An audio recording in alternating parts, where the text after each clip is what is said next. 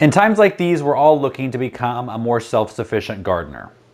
Now to be more self-sufficient, we need to be growing things that are not only packed with nutrients, but are full of fiber and will keep us filled and have a really good caloric density.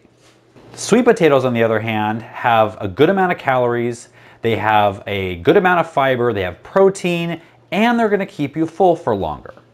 In this video, I'm gonna show you how to start sweet potatoes quick and easy because they do have a long growing season, but if you follow these instructions, even up north, you'll be able to get a great sweet potato harvest this year.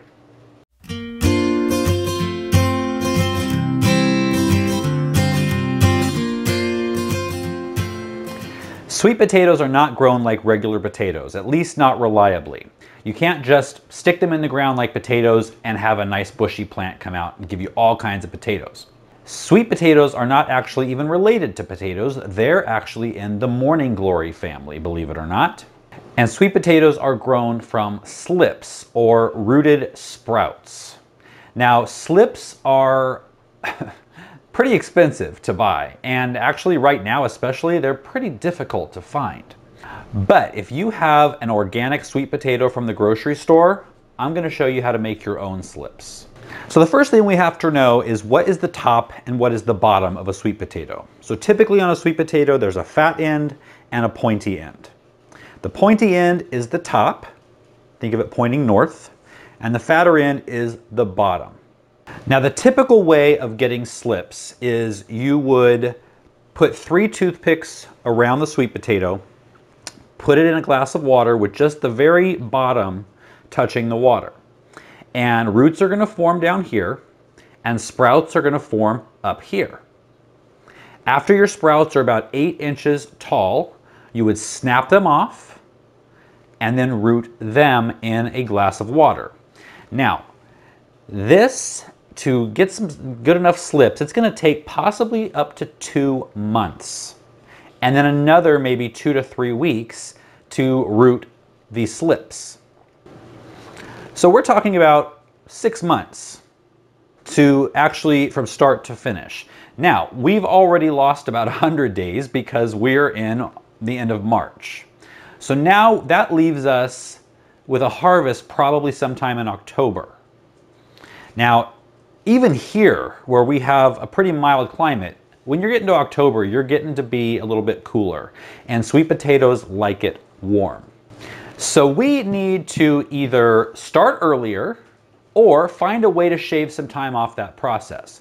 Now, if you have a time machine, awesome. Hop in, go back to January. If you don't, we're gonna shave some time off. And I've got Noah here to actually help me with that. Hi guys.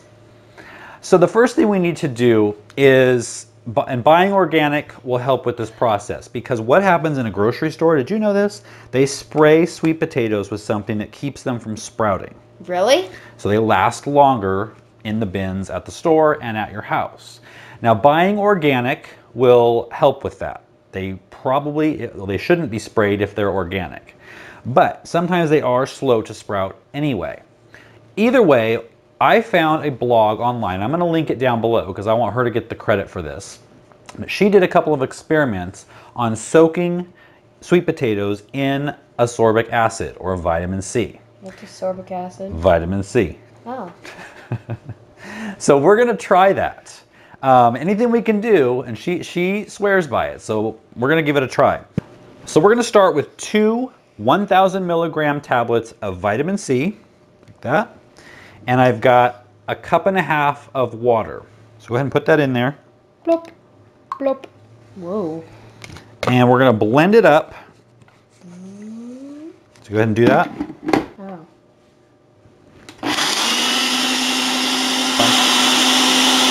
Okay, stop.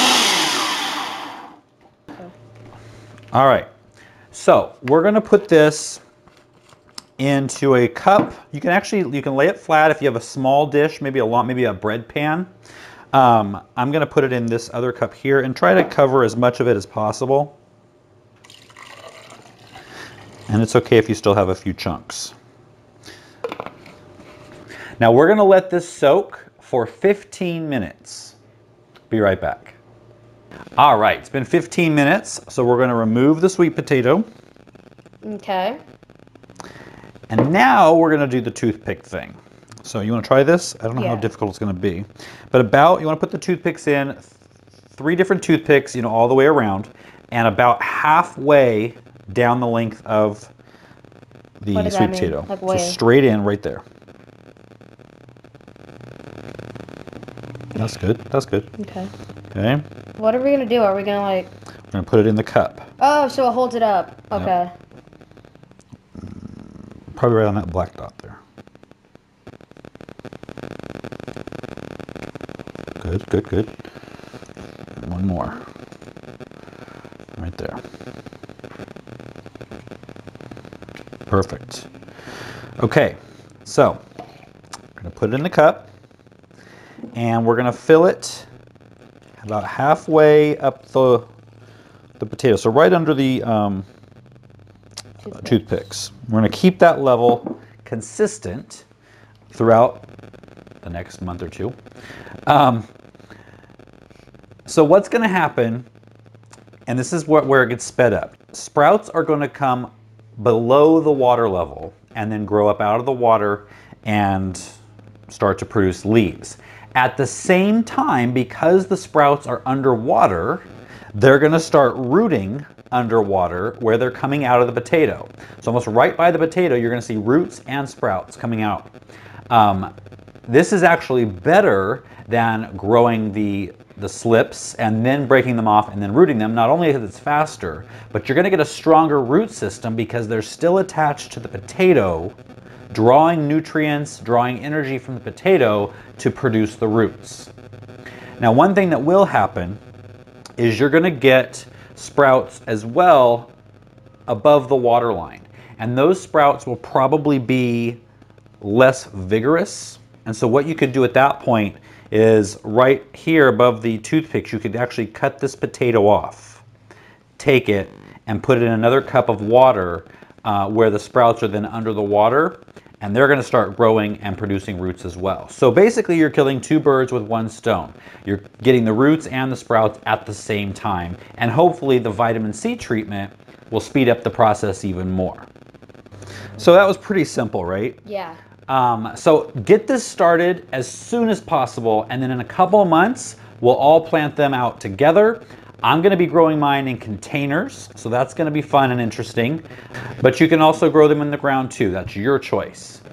And be sure to hit the subscribe button, hit the post notification bell, and hit the like button, and follow my dad on Instagram. It'll be right up there for you guys. And we'll see you guys next time. Bye, guys. See ya.